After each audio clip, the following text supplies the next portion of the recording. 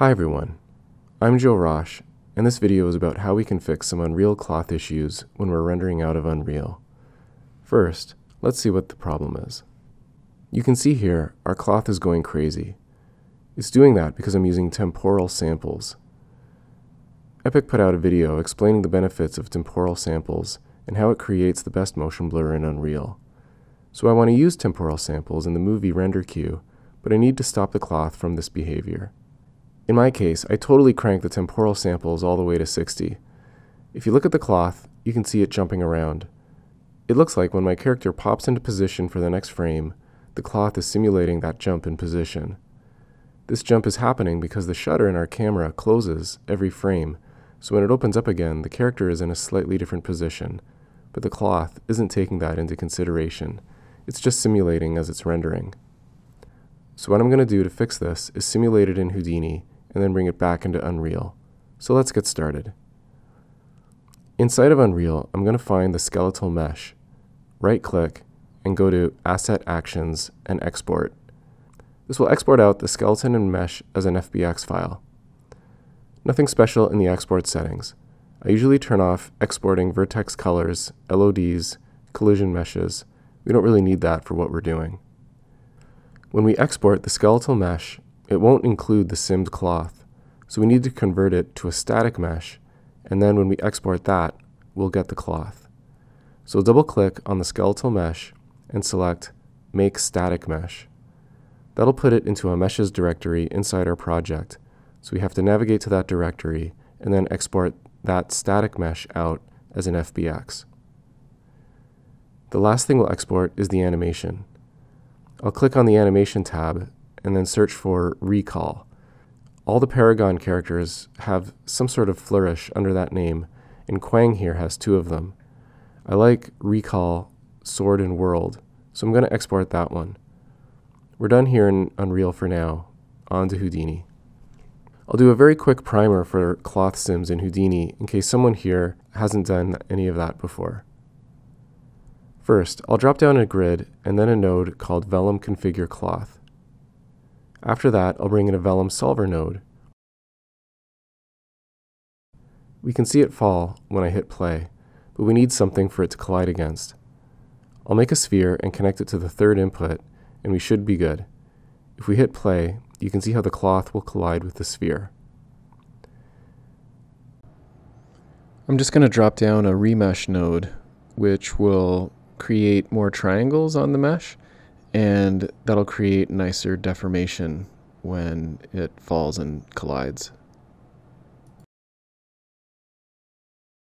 Now the way we're going to get this into Unreal is to use a Labs tool. Labs is SideFX testing ground for tools that target common workflows and integrations with other software. These tools are available for free. To install them, you go to the shelves and open the SideFX Lab shelf. Then click on the joystick icon to download the latest release, and then restart Houdini to have access to those tools. The tool we're going to use is the Labs Skinning Converter. This will automatically create bones and skin the mesh. Then the bones will follow the geometry. It's easier to show it than explain, so here I'm scattering 100 bones on this mesh, and then writing it out to an FBX file. If I bring the FBX file back into Houdini, you can see how the bones are now driving the simulation of the cloth. Now, this is just a skeletal mesh, just like any other skeletal mesh inside of Unreal. So now I'm importing the cloth into Unreal, and we can see the animation is exactly what we had inside of Houdini.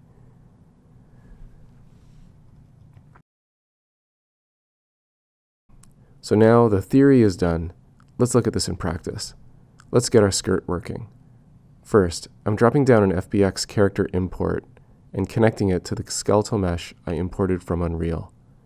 This will bring in the geometry, the skeleton in its rest position, and the third output will have the animated skeleton. But in this case, there is no animation on this file.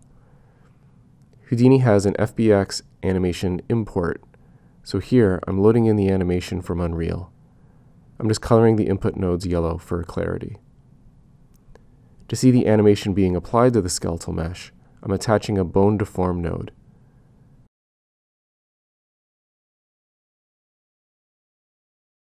Houdini adds a default material, so I'm dropping down an attribute delete node and deleting the shop material path attribute on the geometry. This is an optional step. I just don't like how it looks in the viewport, and Unreal won't need this attribute, so there's no harm in getting rid of it. I need to import the static mesh that contained the skirt, so I'm using an FBX skin import to do this. It brings it in as packed geometry, so I need to drop down an unpack node to have access to the polygons and points. I'm making another attribute delete node just to get rid of the auto material that Houdini is hiding, like I just did in the other node. Next, I only want to have the skirt from this geometry. I'm dropping down a blast node, which allows me to delete geometry. I'm going to the selection tool, and I'm turning on the select groups option. This lets me select geometry based on different criteria, like if the geometry is connected or if it has the same attribute. Since this FBX file came from Unreal and it had materials applied to it, it has an FBX material name attribute on the polygons. I can use this as a filter to select just the skirt. I'm choosing the material that was attached to the skirt, which deletes it. But then I can choose to invert that selection so only the skirt remains. The skirt is supposed to have a cut down the side of it, but the positioning of it is all intersected. This is a pain, but I should separate this before I do any simulations. This next part of the video I'm going to speed up since it's a lot of me fumbling around trying to get this right. I ended up using a soft transform, some sculpting, and a smooth node to smooth out the skirt. The problem is that when I smooth it out, it's changing the entire skirt, which isn't what I want. So I'm going to use an attribute VOP to mix between the original skirt and the smoothed one. I'm grabbing the position from the first input, which is the original skirt, and I'm importing the position of the second skirt with an import points attribute node. And then I can use a mix node to blend between the two. If you're more familiar with Unreal, this is like using a lerp blueprint node. Now I'll jump out and drop an attribute paint node to specify where I want the blending to be. By default, this creates an attribute called mask, now I'll drop down an attribute blur node and set it to blur the mask attribute. In the attribute VOP, I can use a bind node, which allows me to use attributes on the geometry. I just have to type in the name of the attribute I want to use. So I just have to type the word mask, and now it's using that attribute to control how much blending is happening per point. Now I'm done that part. I'm dropping a backdrop just to help keep things organized. One last bit of cleanup is using the attribute delete node to delete the mask attribute I just painted, since I don't need it anymore. The next issue I'm going to have is that the skirt is double-sided.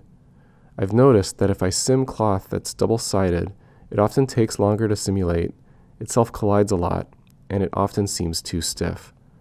So I'm dropping down an attribute wrangle node, and I'm just going to use some simple code to save its position all I'm doing is I'm making a new attribute called OG for original and P for position.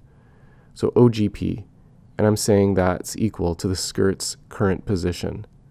I'm just doing this to store the skirt's current positions. Now I'm going to use another labs tool for visualizing UVs. Let's take a quick look at a simple example.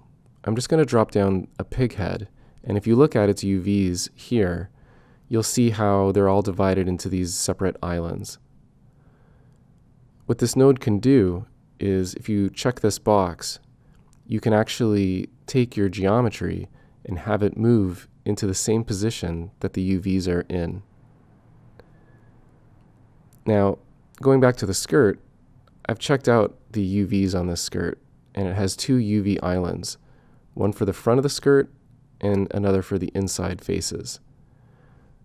So I'm going to use that tool to convert the position of the geometry of the skirt to its UV's locations. This is going to make it very easy for me to delete the inside faces of the skirt. But now I have to put it back the way it was. So now I can drop down an attribute wrangle node and I'm going to reverse the expression I used before. Now I'm saying that the position of the points should be equal to the attribute OGP, which is where I saved them before. and this will pop the points back to their original position. Now I'm dropping down a facet node to make some normals to make the viewport shading a bit nicer. This is an optional step. Now I'm making a backdrop to keep things organized.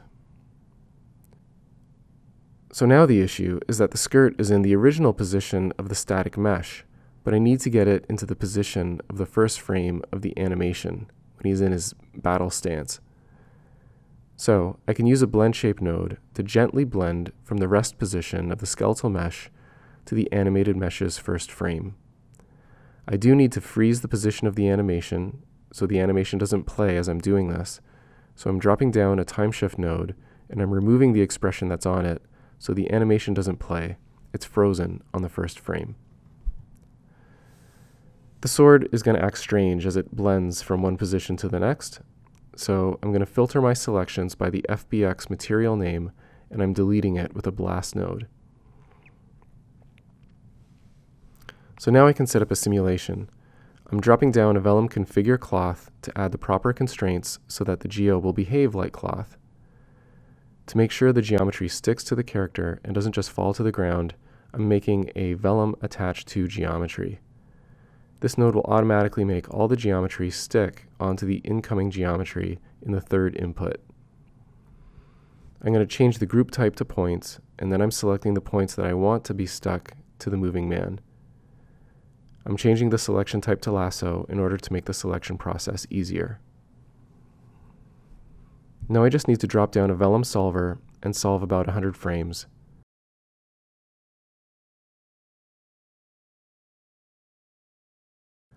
When the cloth settles down, I'm dropping down a stash node. This node will save the geometry into the project file, so if I close down Houdini, I won't need to resolve anything, at the expense of having a much larger HIP file.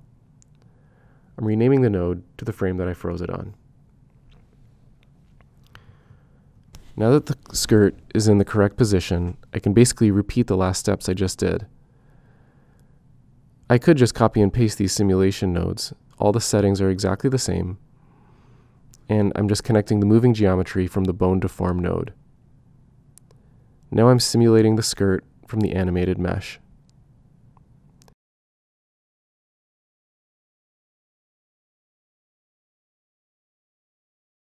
Now that my skirt is animated the way I like, I want the original mesh to be moving the same way.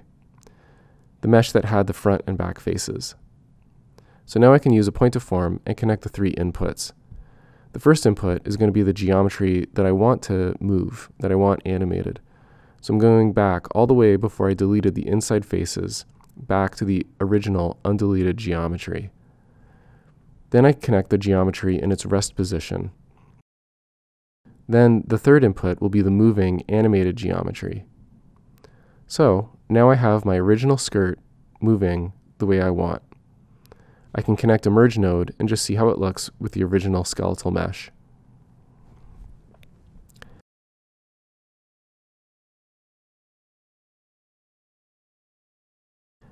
Now I need to export this into Unreal, so I'm going to use the Labs tool, the Labs Skinning Converter. This does all the work. I'm just going to keep everything at the default parameters and write it out with an FBX character output node. At this point, you could also output an Alembic file and bring that into Unreal. If I want to see how it works, I can make an FBX character input and copy the path I just used to save it out to bring it back in. Then a bone deform node will show me how the skeleton moves. The way the cloth is moving now is the way it will move when I import it into Unreal. Back in Unreal, I'm setting up my skeletal mesh. I'm making a material that will be invisible, and I'm going to apply it to the skirt. Once I'm inside the material, if I hit 1 on the keyboard, it'll create a scalar parameter that I can connect. On the material, if I click on it, uh, I can change it to a masked material and then I can plug in that parameter into the opacity mask input. I'm also going to change the lighting mode to unlit, so hopefully it'll process faster. Now I'll apply this material to the original skirt. I could have also imported the skeletal mesh without the skirt back into Unreal, but this is faster and easier.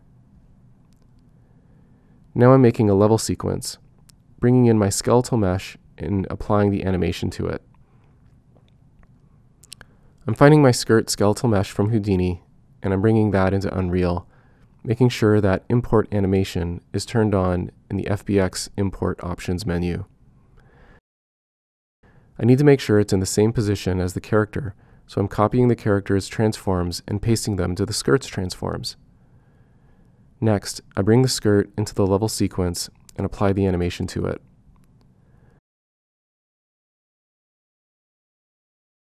Once that's done, I'm going to find the original material and apply it.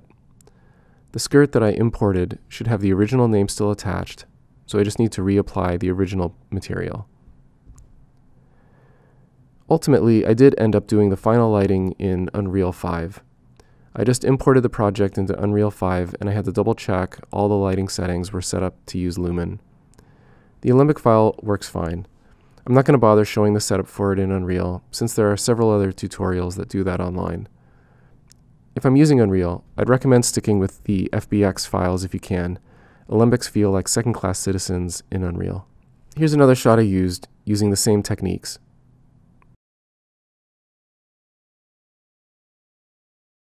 And this is another shot, this time using Vellum soft bodies to get the tentacles flying around. If I made any mistakes, please let me know in the comments. I wouldn't want to spread any bad information.